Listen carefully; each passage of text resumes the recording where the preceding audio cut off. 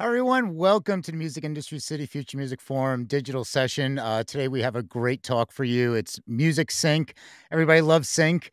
And uh, so it's going to be a great conversation. I see a lot of people in the chat. Hi, welcome. I see a lot of people. I see from Barcelona. I see, oh, people are saying hi to Julie. So when Julie comes on stage, look at this. All right. So, yeah, let us know where you're all from. Uh, I'm really excited that we have a great crew of people like this. These people really know what goes on the day to day, what's behind the scenes, and is going to offer a lot of valuable information. Um, it's all part of the New York Music Month warm up series. We're going to be doing these monthly. So this is the first one. So welcome. You are all first. And we'll be doing one next month on uh, diversity, inclusion, and business practices. And then the, in May, we will be doing another one about collecting revenue streams and managing your career. This is all leading up to the June is New York Music Month series, which has the flagship New York Music Month conference on June 7th and a lot of events going on throughout the month. But to talk about this more, I'd like to introduce Shira Gans from the mayor's office. Shira, how are you? I'm doing well. Thanks, Peter. Um, I'm excited to be here today for our first of the warm up series.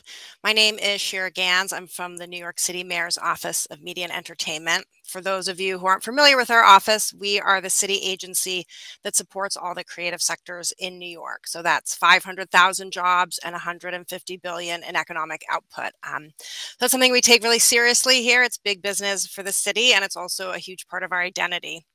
In my role, uh, I drive partnerships and programs to support the music industry.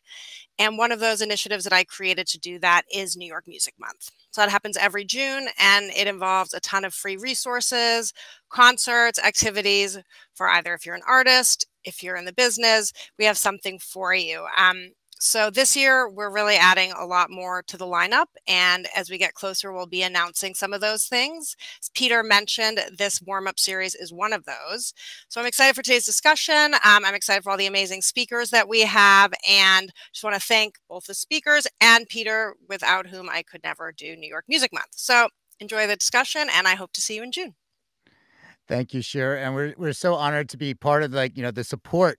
And there's so much more events going on that the mayor's office is supporting. Are there's any that I know for the past few years, especially during the pandemic, we had the, you know, the digital series and then coming yeah. back was like a hybrid series. Uh, yeah. Is there anything you're really looking forward to coming this June? Yeah, so you know, one cool part is we've always underwritten rehearsal space for musicians, and we've done that mostly in Brooklyn. So this year we'll be announcing our partners, but we're going to have free rehearsal space in all five boroughs. So I'm pretty excited about that. Um, we're going to be diversifying the content where we're going to be bringing some podcast action into the mix. Uh, we'll be doing um, some live taping of podcasting. We'll be touching on some new topics like what immigrants mean and contribute to New York City's music um, ecosystem and lots more. So, yeah, I'm excited. Awesome. Looking forward to it. And everybody give a round of applause for uh, for Shira. I mean, the the what she does uh, out of the mayor's office f- to support the music industry here in New York City is absolutely fantastic. So thank you for everything that you do. Oh, thanks. Okay. All right. All right. All right. Well, without further ado, let's get to the to the good part of the topic here. Sync. And we love sync. Everybody loves sync. Josh, let's bring Josh up to the stage. Josh, Josh, you know a thing or two about Sync. I know a few things about Sync for sure. give us a little, give us a quick background. When, when did you like? You're you're from the advertising side. Give us a quick background. Yeah, I was the head of music at Grey Advertising, a big global advertising conglomerate, for 14 years. I left there to start uh, my own consultancy called Brooklyn Music Experience, which does a lot of music supervision. I do a lot of music production. I'm also a music professor, but I've been in the space for about 25 years and we picked out an excellent panel of experts that have different perspectives um, about the field and space known as sync, which is short for synchronization. And as many of you know, and some of you don't, synchronization or sync essentially means taking a piece of film and synchronizing it with a piece of music. And the synchronization license is actually a publishing license that's used, and that's where the word sync came from. That's uh, that's wonderful, and it's like the old sync was actually the old with the reels and the cogs and like lining them up and cutting tape and film, and that's where you were synchronizing the two, the audio tape and the film. Yeah, We used to use razor blades and, Yep. and the like. I remember, I remember those days. Uh, Josh, great to have you. Well, uh, without further ado, let's bring up our special guest for today. And for everybody in the audience, uh, it's, it's not it's not going to be like a Q&A panel, like, you know, just like another talking head. It's going to be more of a conversation.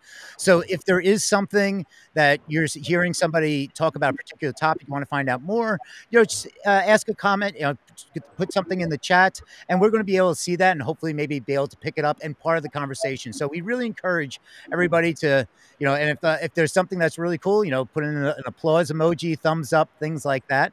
And uh, so I'm going to let everybody take it away here. So, Josh, everybody else, Hey, hey, we're, we're so glad to have this amazing crew of people.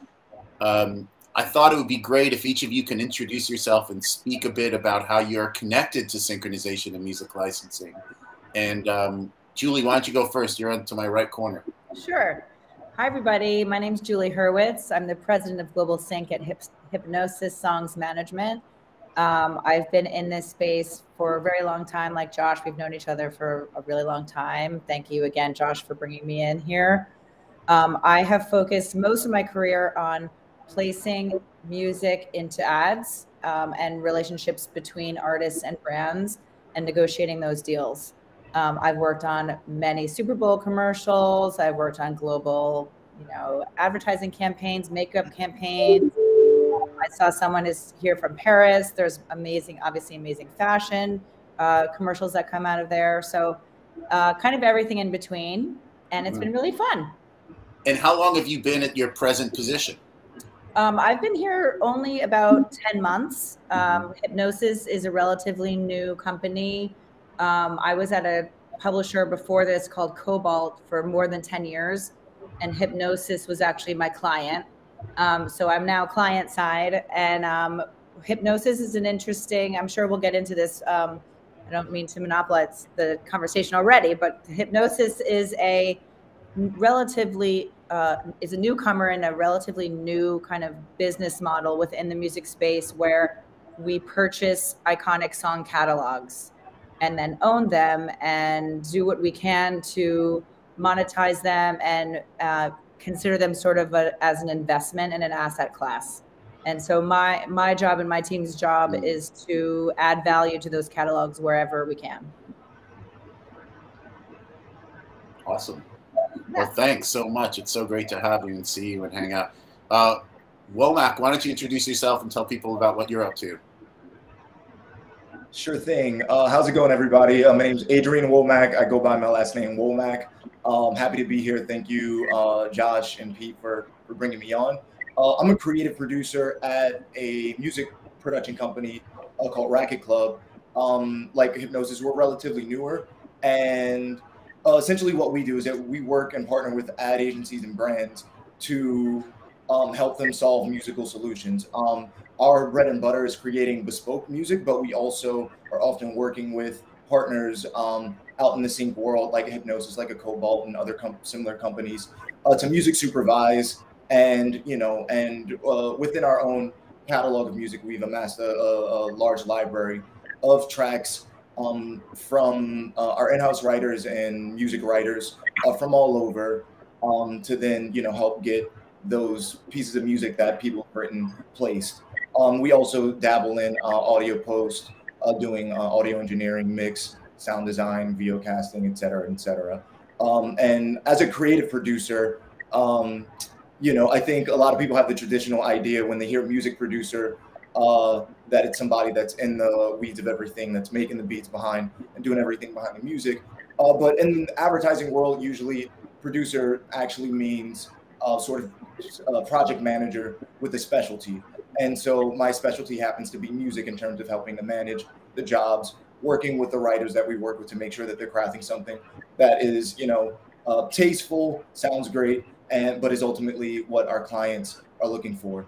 Um, we work with a bunch of awesome, fun brands, everything from uh, Volvo to Publix, um, you list it, you name it, and we, you know, we've had the the fortune and the fun working on these types of these projects. That's great.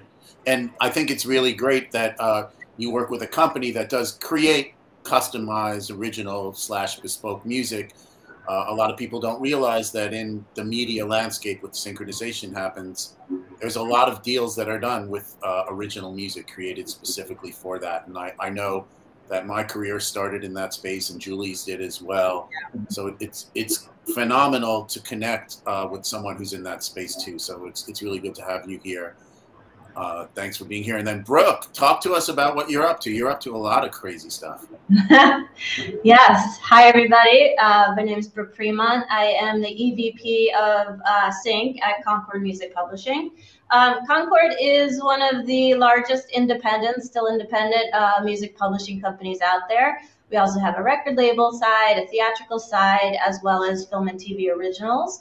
Um, but so, what my main role is at Concord is running the sync department within the publishing division. Um, so, we're the ones, our team is about 15 people um, that are actively trying to find opportunities for our catalog in across all media. So ads, TV, trailers, films, video games, podcasts, promos, all, all of that stuff. Um, uh, you know, some of the catalogs that we represent are Cyndi Lauper, uh, Phil Collins, Yola, Allison Russell, Glen Ballard, Ruel, Omar Apollo. So it really stretches the gamut between, you know, emerging writers that are just starting out in their career that we really feel like we can work well in this in this area. Um, you know, to Rodgers and Hammerstein catalog and, and bigger catalogs that we really just try to figure out ways to market um, and work with music supervisors across all media to try to figure out and anticipate their needs. Um, you know, whether it's them coming to us that they need a particular song for a project that they're working on for a particular scene. They send us, you know, requests like that, as well as just sort of like figuring out what shows are happening in the marketplace, um, what themes are working well in the sync area, and trying to get the music that they could use uh, within their projects. And it's a very competitive market. Um, we are, you know, super proactive about what we do, trying to really um, you know, get in in the inboxes of a lot of these music supervisors and and try to make sure that our songwriters are represented when pitching. And you know, we work very closely with our songwriters to try to get them to understand this marketplace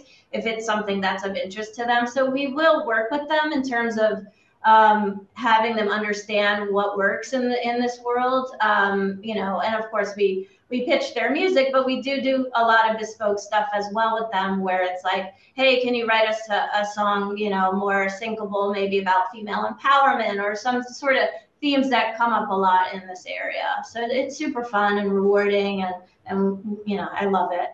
Yeah, it's great. It's great that you shared that insight because a lot of people might think of as pu- publishers as just representing catalogs, not interacting with the songwriters that much not being super creative all the time, but that's not the case at all. Creativity is king and queen in this process and in synchronization, that's really what it's all about.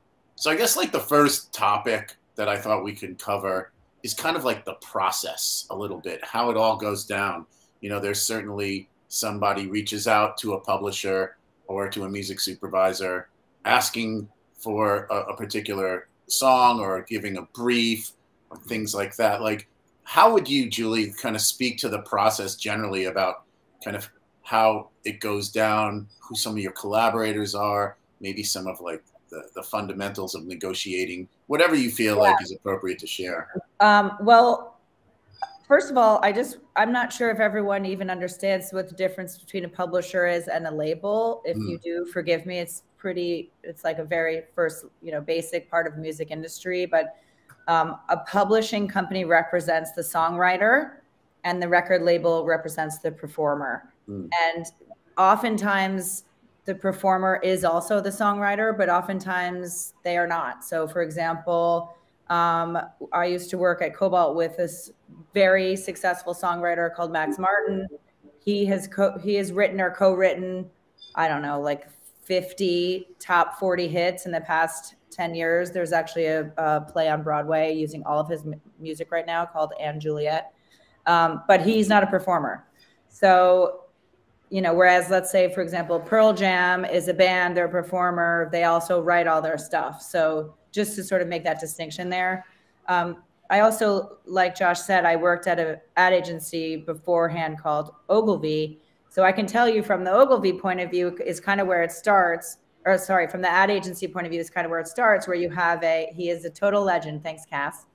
Um, uh, and so an agency client, let's say Volvo, um, wants to do a new ad. They have a new electronic vehicle there's a whole process within an ad, ad agency. There's testing and there's surveying and all sorts of stuff to come up with whatever with whatever the creative concept is, and then from there, um, the agency comes up with the what they need for the music. Sometimes music comes into play really early on in the process, which is what we all prefer, I'm sure. Mm-hmm. Um, and sometimes it comes in the very last minute, which is which I hate but um, so then the agency will call and they'll say, "Hey, we have a new Volvo commercial. We're looking for songs about sunshine uh, with a female vocal. Do you have anything?"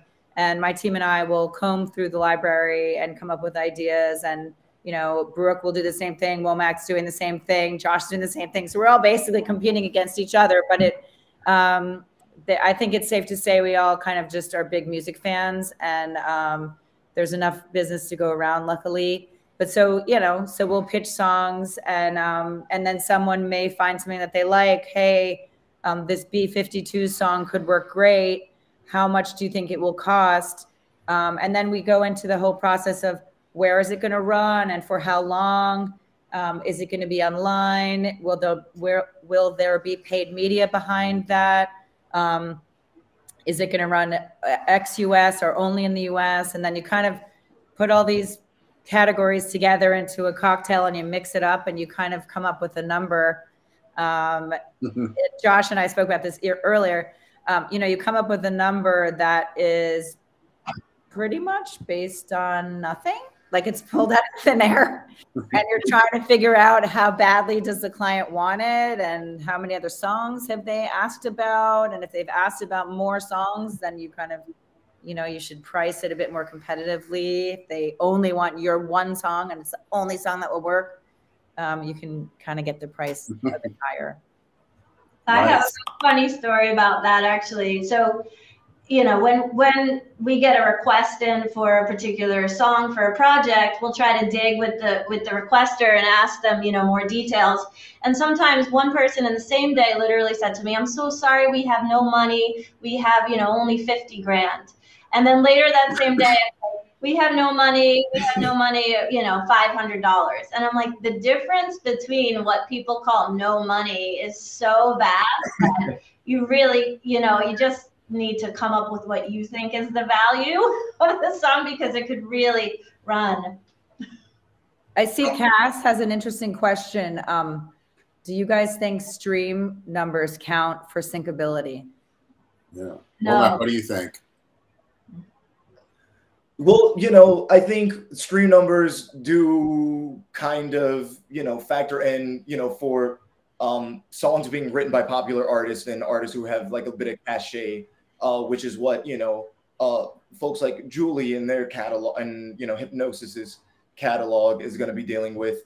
Um, and and you know the main difference between sort of where we operate uh, at Racket Club, where we're a music house, we're working with independent artists who, in many cases, you just haven't heard of a lot of these people, even though they're like some of the most talented music writers who are out there in the game. Um, their specialty is creating music that is just you know meant to be built around the commercial and so because they don't have the sort of like same artist cachet that's going to you know attract uh people like honey in the same way that like a Dua Lipa or a Taylor Swift or somebody like that does you know that's kind of why we are operating in a lot of cases on a lower price point in terms of what we're going to be working with uh, for syncs. Um, although you know my role and the, the the role of my organization is to you know make sure that there is a fair and a competitive price that's being doled out between what's being uh, received from the client and the ad agency and what's uh, what you know what we're doling out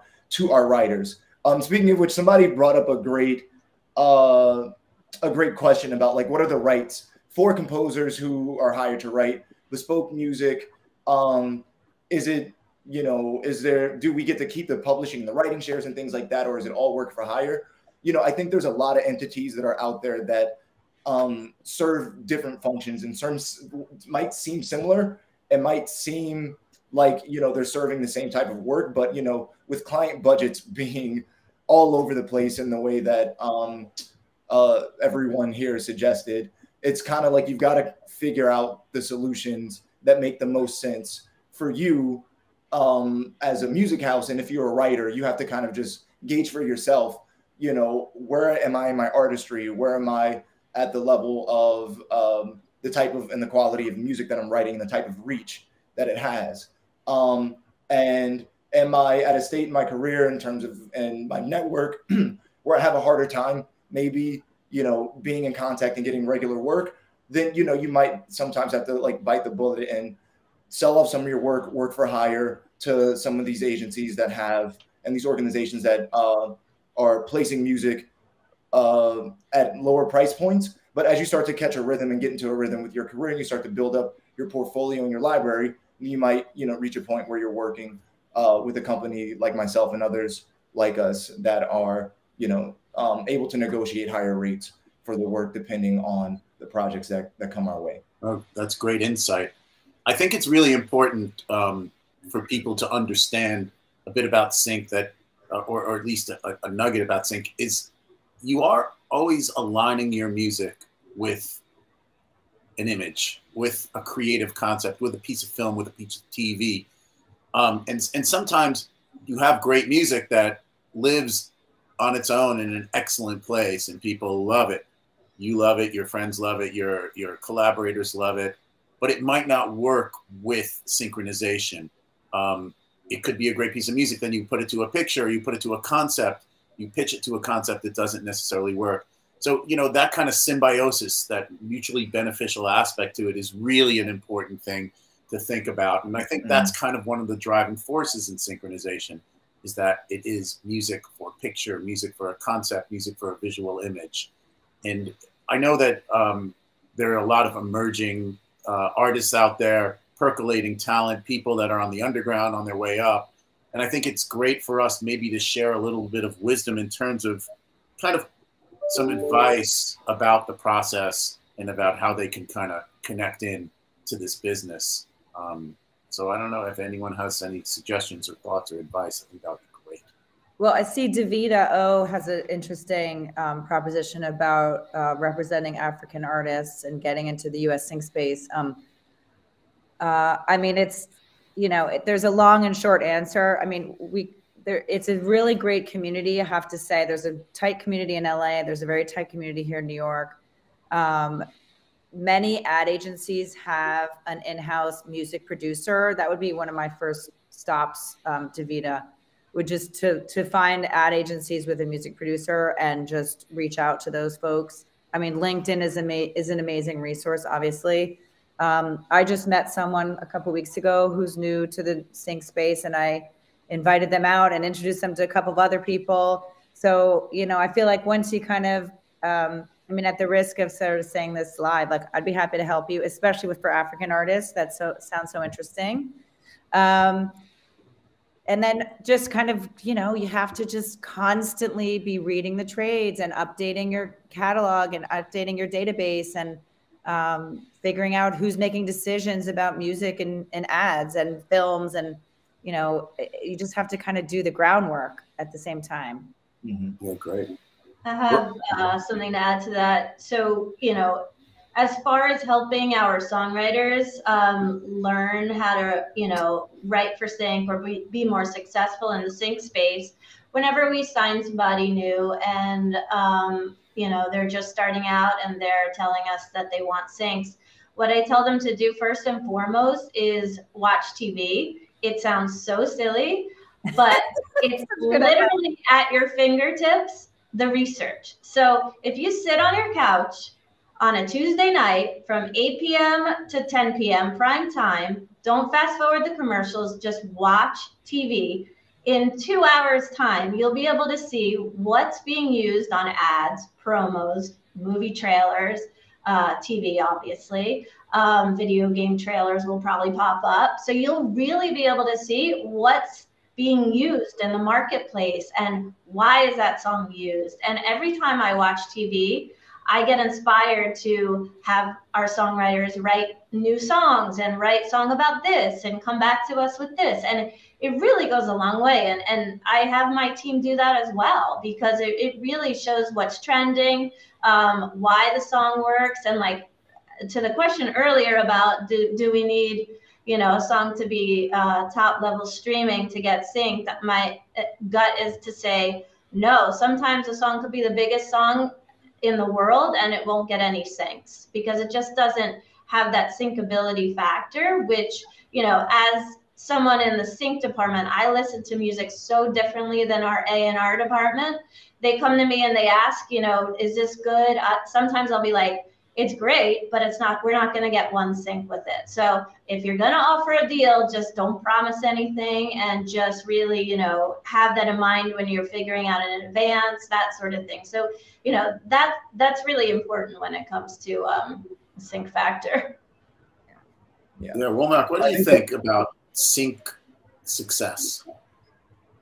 Like the like a uh, the the the quality of the music being able to be synced Oh yeah, I mm-hmm. couldn't agree more with what you know Brooke was saying. Um, you know, I, when I'm listening to music, the a lot of times I'm listening and I'm sort of parsing out in my mind. Oh, is this a song that I I'm able to listen to stand alone? That it's just a good piece of music to just listen to, or is this a piece of music that has uh, it's a word I use a lot on my you know all my people in my organization probably are rolling their eyes if they're hearing me say this, but that has a certain dynamism, that has a certain like movement and changes, and has a you know something um, for an editor to cut to. I think you know the, the, the biggest takeaway I think of what Brooke was saying is just about like watching television and watching things and uh, the ultimate takeaway for for me for that is to just be curious about what it is that's out there in the world and how it's being made and understanding that if it's out there in the world there's a lot of people who are probably behind making those decisions and you know, trying to figure out what those roles are, being curious enough to like go do the research about, you know, who are making those decisions and what it is that they're looking for, I think is one of the biggest things that a writer can do like outside of their creative. But in order to like influence their creative, I think the biggest thing that they can do is, you know, just do everything you can to make your make your music feel picturesque, if you will. Nice. Can I add to that a little bit? Yeah. Um, yeah. I totally agree. Just to just to sort of add on to it, um, I think first of all, what Brooke, what you were saying about watching TV, I mean, it's like so obvious. I also find it really interesting that it depends on when you're watching TV. So, like, if you're watching TV during, um, you know, prime time, it's going to be um, it's going to appeal towards a certain demographic. If you're watching during right. like the NBA finals, it's going to be a certain vibe. If you're watching like daytime television, kids Saturday morning TV, like it's all sort of uh, it's all kind of different uh, right. vibes there. Um, the ones that are the most lucrative though are during prime time. So keep that in mind if you're a songwriter. And then um, also interesting is uh, depending on the media type, so, in other words, advertising versus television versus film versus video game, um, different music. Just to answer the sync, what is syncability? Um, Consuelo, you asked that. Um, syncability meaning uh, how likely is it going to be used to various picture? So, for example, if you're looking to find something that's syncable for advertising, it tends to have to appeal to a, a wide audience. You know, it's not it's not uh, it's like the most accessible, um, not not too edgy, not too singer songwritery. It kind of has to be somewhere in the middle, and the lyrics shouldn't be too specific. Like you know, if I ever hear if I ever hear a great song, um, like I used to work with the Lumineers, and they wrote a song Ophelia, and I love that song. But I was like, darn it, because if it has oh, someone's name in it, it's going to be very difficult to sync it. Mm-hmm. Um, and then in television, you know, there's a lot of heartbreak and romance and and that sort of stuff works in TV, but it doesn't work in advertising necessarily. Um, and the same goes for films. And then in video games, you know, you know, and it's it tends to need to be like sweeping and broad and anthemic, and um, or for video game trailers, I should say. I mean, these are all general generalizations, but I do find it so interesting. Like depending on when you're watching TV and what you're what media you're using, um, music tends to be different for each of those. No, that's really great intel and insight. And I think um, kind of analogous to that is understanding that there's a real process to it, and each medium is different. So, like mm-hmm. the gatekeepers are different, the points of contact right. are different, the approvers are different for different medium. Budgets are different. The budgets are different. Sometimes people argue that trailers and advertising pay overall in the aggregate more money, but you know sometimes advertising, like Brooke said, they might have five hundred dollars uh, for an ad, so it can be really complex. But I think the thing to really think about, and this is something maybe we should all talk about, is understanding who the gatekeepers and kind of the points of entry are. With advertising, there's certainly a lot of cooks in the kitchen. A lot of people are wanting to pee in that soup, if you will. Like it's a crazy concept. And uh, it's gross, sorry. And, you know, certainly when you're talking about film, there aren't many, as many players, depending on the type of film. And in television, there, there's a music supervisor, there's a showrunner, maybe an executive producer, um, and a music editor. So you know, why don't we speak to that process a little bit about approvals and who you guys get your approvals from also? Womack, why don't you jump in on that? Yeah, sure. So, um, uh, Julie mentioned it a bit ago, but yeah, for for us, a lot largely the process does start on the advertising agency side. So, an agency like Ogilvy uh, and many others like it uh, will they're the ones crafting all the crazy strategy and the crazy ideas to help a brand uh, or their clients um, serve their marketing goals.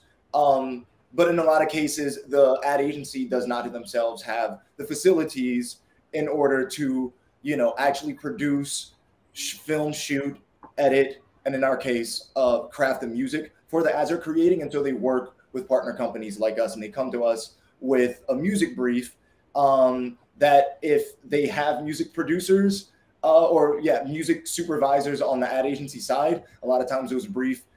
Are you know sort of make a lot of sense musically and in a lot of cases where there aren't music producers. It's a lot of just um, descriptions and understandings that uh, folks like myself have to then synthesize and make uh, a lot more usable for our writers. And from that standpoint and from that point we take and synthesize that and then we get our in-house writers to start writing music and we also will work with a lot of the independent writers that are in our roster that we think would be good for that particular brief, for that particular um, instruction for music crafting. Um, it'll be anywhere between like five to 10, 12 people that we'll end up having on a roster to craft music from their perspective based on the brief that we've synthesized for them. And then they send that music back to us for us to review internally, for then for us to share with the ad agency so that they can make selections of what is their favorites. And then from there, the ad agency will um, curate it even further to then present to the brand client to at some point uh, in what could be in the span of a week to several months, depending on the project, uh, a final decision ends up getting made, and then a licensing deal ends up being arranged um, in order to license that piece of music. And so the biggest thing that I would say to writers, understanding at least from the advertising perspective, is that a big thing you have to sort of develop is a lot of thick skin and understanding that even though your work isn't being selected for this particular project, you're competing against other very talented people, and it is a very subjective process at the end of the day. And so the the way to look at it is that you're writing a piece of music, and if it doesn't get used, then you'll be able to keep it housed in your library in most cases and be able to pitch it uh, for a library search, for a music supervision search down the line and down the road. And so, you know, I would say to just always look at these things as opportunities more than um, losses ever in the situation. Sure. Hey, Brooke, what do you um, have insight wise? Yeah, so that's such a good point. There are so many songs that we've pitched for, you know, for years and and then, you know, years later end up getting a request for. And so it's like, oh yeah, I sent that out, you know, 2 years ago, finally got a spot or we sent something for JC Penney and then 2 years later it gets picked up for a Target spot. Um, so that's that's always fun. The mm-hmm. other thing I was going to say specifically about um, different media and supervisors. Um, so I said we had about 15 people on our team, and we break up our pitching specifically by media on purpose. Um, mm-hmm. so, for example, we've got three people out of those that are pitching specifically to ads. So they're working with the ad agencies and the music supervisors and and um, that sort of thing to try to figure out what they need. And we have the same thing as we break it up by other media. So the trailer people are working closely with the people at the trailer houses to get them what they need and anticipate their needs. Um, you know, and it works really well that way for us because then you can really get to know um, the people within your media and like any any business area it's all about relationships so if we get them what they need if we're you know not annoying to them or we're you know fulfilling them and helping them with their jobs they could ideally keep coming back to us um, you know and i always say it's a really hard business we probably pitch about 2000 things to get one thing that's how competitive it is out there, how much music you need to send out, but you need to be reliable, you need to be fast, you need to be, you know, um, on point. If a if a music supervisor is sending you a request with a brief in it, it has to be upbeat, it has to be female vocals, and it has to be, um, you know, uh, lyrically about something very specific.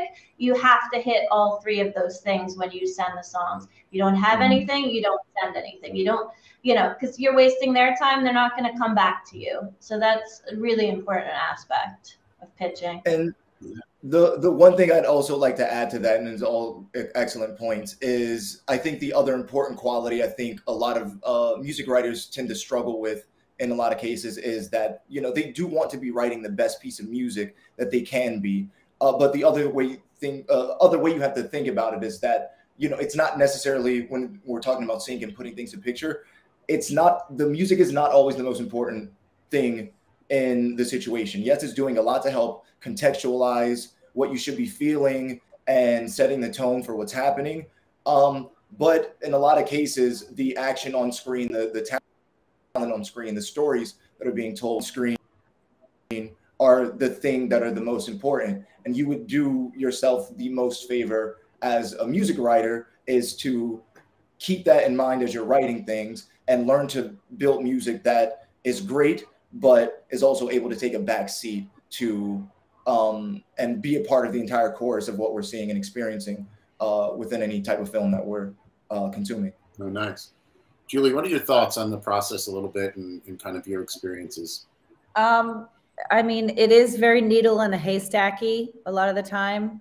Um, like Brooke said, I, I that's a pretty drastic stat you said 2000 i i would have i would have i mean i'm sure i mean 2000 songs right. going out you know i got i got you I, I i used to say 50 pitches to get one sync landed so right. if you if you put about 20 songs in each pitch that's a thousand songs so we're sort of close um but uh you know the the process to answer a, a, a, whole, a whole bunch of you in the chat have asked how you even sort of like get started um, and in answer to your question, Chip, um, no, we do not open unsolicited material.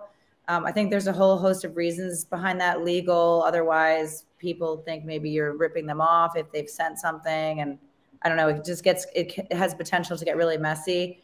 So, you know, you have to get representation, a manager or an attorney or somebody who can help you kind of get in touch with the people who make those decisions. If you want to make it a business, if you want to make this a business, you have to line yourself up as a business. Um, but the process sometimes it's a needle in a haystack and takes months, like Womack said, and sometimes somebody will know exactly what they want. A creative director will know, or director, an editor will know exactly what they want, and they'll come straight to you and they'll say we have this much money and you'll you you'll be like great done and then it's on air you know it's it's kind of all over the place um it, it comes from all different directions i mean i used to say you know, the editor's girlfriend's dog walker's aunt doesn't mm-hmm. like a song that the CEO likes so they're changing it now, or you know, or mm-hmm. does like a song, so they're choosing mm-hmm. that. I mean, it's kind of it is really kind of very very subjective. It's incredibly subjective. It's incredibly up and down. Sometimes you have a really great success rate. And what I would suggest to people that are interested in the space is to consider looking into some of the great work that they see that's been executed on television, you know, watching two hours of TV and commercials or film on Netflix or whatever. And, and try to do the research and figure out who are the people that executed that work. Maybe there's a sync agent involved. The sync agent is like a third party that manages uh, music rights from maybe from some catalogs, for some publishers, from some labels, or just independent artists. Um, maybe there was a music supervisor or a publisher or a music library that was kind of associated with it. Maybe there's a music supervisor from an ad agency. Maybe it's a music supervisor from a TV show or from a film. It, it, it could be a variety of different um, people that are involved. And you can usually research and figure that stuff out.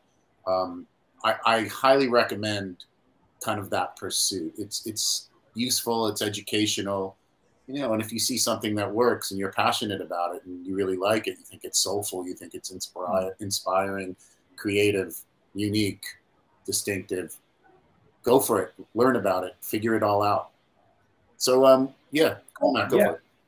And I think just one other point on top of that, you know, we've talked a lot about it, this world from, you know, in terms of supporting uh, music writers, but I think the other thing that shouldn't be discounted is, you know, the roles that we all have and the roles that we take uh, in this industry that you know can, uh, we're the gatekeepers and the, the, these roles are often gatekept, but they're all, they're out there and they're they're available and you might be a great music writer, but you might also be an awesome music supervisor. So you know don't discount uh, this and having uh, proximity to uh, these creative spaces and these creative roles uh, that aren't exactly like necessarily getting their hands immediately dirty uh, with the creative. You know, it's awesome to be a music producer, uh, music supervisor, a sync supervisor, and I think we all appreciate our jobs. So um, definitely look into that. Maybe that will also help inspire your artistry outside of it. Yeah, no, it's, it's great to educate yourself and to really get yourself familiar with all the aspects of it.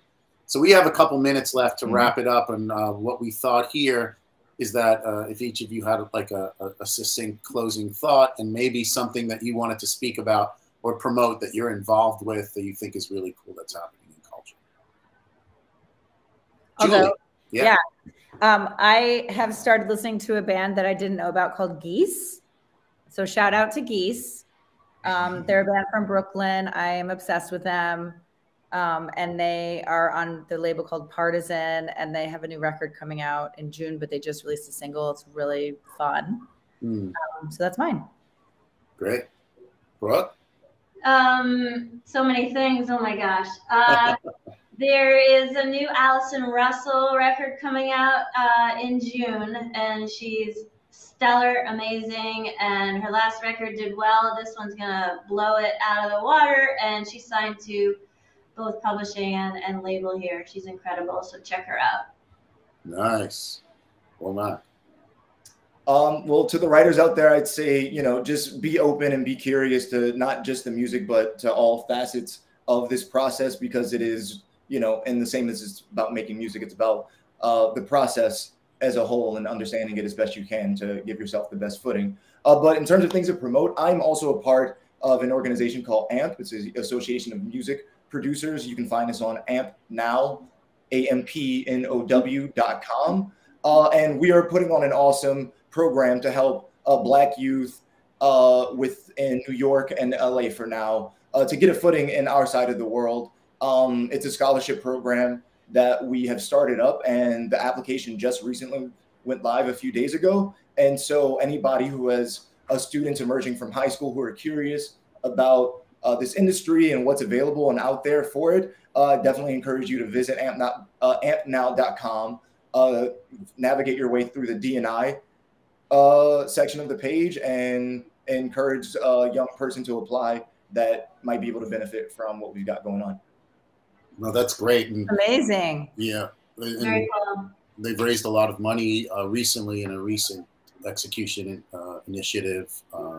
I saw something about it South by Southwest, and I know Womack, you were DJing at that event. And it was awesome. Uh, I would say for people to look into AMP, it's a great organization. Uh, we do, uh, I'm part of it. We do uh, an award show. This is the 10th year, I believe, for the AMP Awards. Wow. Uh, I was the original curator uh, and chair of the first one 10 years ago. Feels like yesterday. There's also the Guild of Music Supervisors, a great team that educates and mentors people and does an award show. They're over 10 years now in their award show. Some great music supervision insight there. And a self plug, you know, I'm a music professor at some universities and I do some career coaching also. I like to help aspiring minds and emerging talent. BrooklynMusicExperience.com is my site. And, you know, I think we're all really interested in helping people and we're reachable. I'm speaking for everyone. Uh, hopefully, everyone agrees. You know, we, we have very busy schedules and uh, we love to connect with new people and network, all of us. So, you know, we're, we're really enthused to do this and uh, we're really enthused about what's going on um, with Shira and the city and Peter. And thank you so much, guys, for thank you guys. This. Thank you. Yeah, thank you, everyone. This, this was fantastic. And as a person, I mean, Julie, I, I was at Kobalt years ago. I think I left just before, uh, I think it was like a month. We just missed each other by a month, and we worked on Michelle Stoddard's team, uh, the queen bee of sync at the time. It was like, you know, when if you needed something synced, she was taking care of it and learned so much from her in these. And I hope everybody that uh, joined us, thank you all for joining us uh, first and foremost. And, you know, there's so much information. Thank you, everybody here for sharing. And thank you to the mayor's office and Shira for supporting this and everything with New York Music Month. And Shira, any, uh, you want to any say final thoughts? Um, I'm just really excited to have learned much about sync. I also feel like it's exciting to know that watching two hours of TV on a Tuesday night is something you can feel like is professionally motivated. So I'm going to think about maybe a career shift myself. Um, no, but seriously, thank you guys. And for me, uh, being in the mayor's office of New York, it's really exciting to see folks from all over the globe. So that's a testament, I think, to our speakers and to Peter, and hopefully to the draw that New York Music Month has, and the fact that a lot of our events are virtual. You know, that wasn't the case before the pandemic, and we we've kept that in because I think this is a global community. New York's a global city. And that's what makes it so special all the different kinds of people and all the different kinds of sounds. So I'm glad to see that we're reaching beyond the five boroughs. And I'm excited to see you guys next month at our next warm up series. Right on. All right. Thank you, everybody. Thank you, everybody, for tuning in. Uh, check out more at musicindustrycity.com and nymusicmonth.nyc. We're going to be doing another one of these next month and the following month. So uh, keep in touch and hope to see you soon. All right. Thank you, everybody. Have a great Bye. day. Thank you, Peter.